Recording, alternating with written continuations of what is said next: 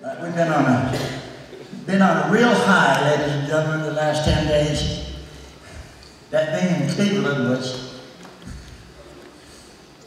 a long time coming.